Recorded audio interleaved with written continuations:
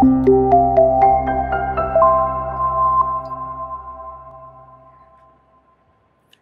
to all. Department of Plant Breeding and Genetics, Indian Agriculture College.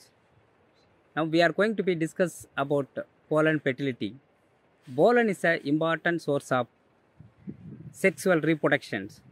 The plants are classified under three categories based on the mode of pollinations, cross pollination, self pollinations, and open cross pollinations. For cross pollinations, the same flower, the pollen grains, it is transferred to the another flower of the stigma that we called as cross pollinations. In comes to the self pollinations, the same flower of the pollen grains, it is followed same stigma that is self pollinations. So here the pollens are it is playing a significant role for the pollinations here we want to be assess the fertility status of the pollens whether it is a fertile it is able to pollinate it is a sterile it is unable to pollinate the flowers. How to assess the fertile pollens and sterile pollens it is very simple. Let's we go go with the assessment of the fertile pollen and sterile pollen.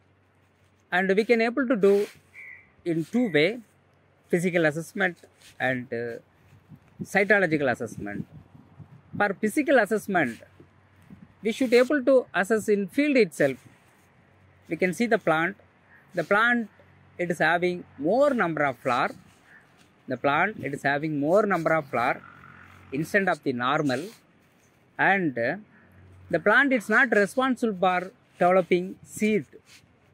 There is no seed set particular plant and it is having the abnormality. That is a physical character we should able to confirm. It is a sterile one. And in terms of fertile it is on the normal yeah the normal flowering and the plants are normal. So that we that we confirmed it. It is on fertile one.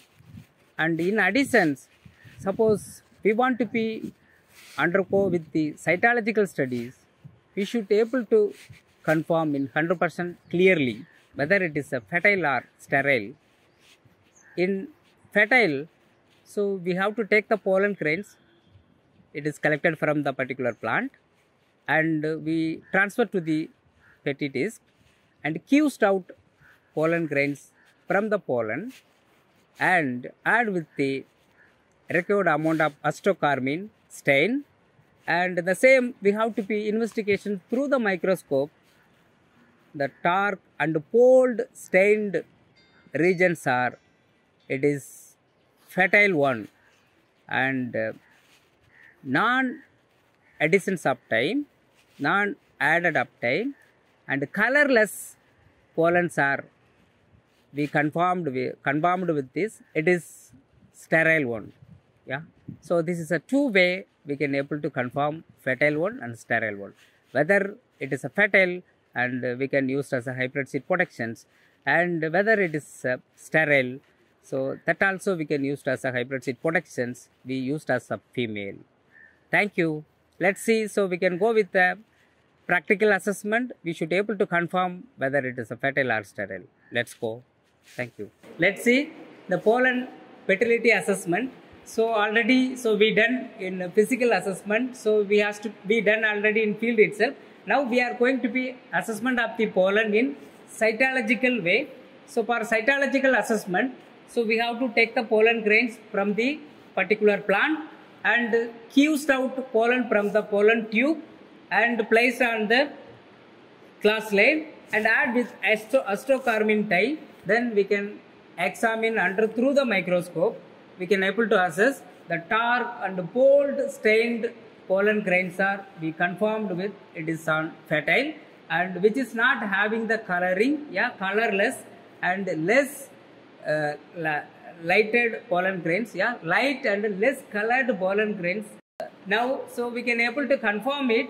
So whether we confirmed with the cytological study fertile or sterile. So based on that we can as, uh, we can able to make our breeding procedures.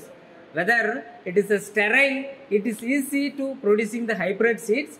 That is, that is we take it as a female and we can uh, uh, we can go with the cross breeding method. Yeah, whether it is a fertile one, whether it is a fertile one, then we have to be develop the male sterility plant. Then we can go with the normal breeding methods. Okay, let us see. So now our students they are going to be uh, practice with the pollen grains. Now they are going to be take the pollen grains and uh, uh, we have a acetocarmine tile and uh, uh, the pollen source from red gram